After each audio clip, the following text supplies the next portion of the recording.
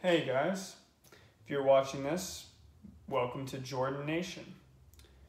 Essentially, uh, you have stumbled across a very interesting YouTube channel of a guy who's attempting an alternative sleep cycle.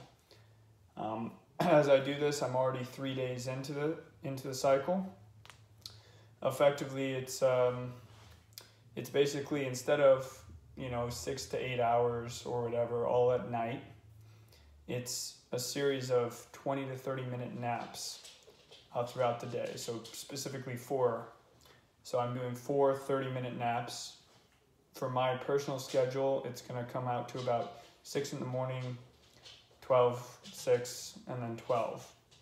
Uh, give or take a few minutes depending on, you know, responsibilities and if I'm able to actually make all of those. Um, that it works out pretty cleanly just from a lunch break perspective and from an after work before the gym perspective.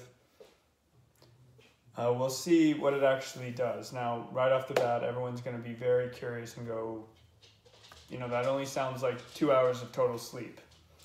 And so the theory is that not all sleep is created equal. It's that, um, you know, sometimes you sleep for eight hours and you're still a little groggy, and sometimes you sleep for four hours and you're alert. Uh, there doesn't seem to be perfect rhyme or reason to it. Um, and in my estimation, that's because there's a lot about sleep that we just don't know. Uh, so this is one theory, and yes, I understand that there's potential health risks associated with this.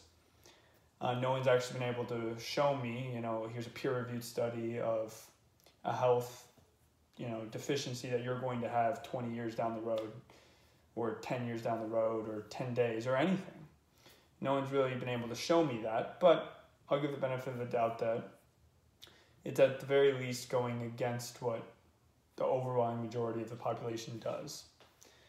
And anytime you engage in something like that, you should take a step back and really question it.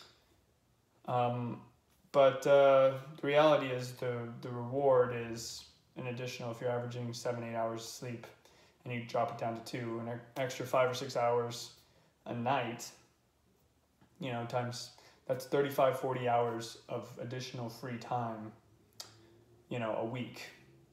I'm not just practically speaking that could be a full-time job.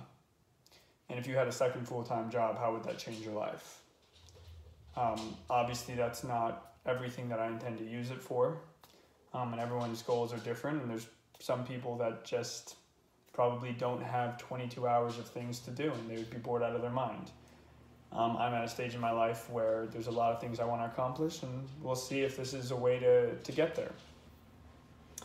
So this one's probably a little bit more serious in tone, even though I did start by saying welcome to Jordan Nation, so maybe not.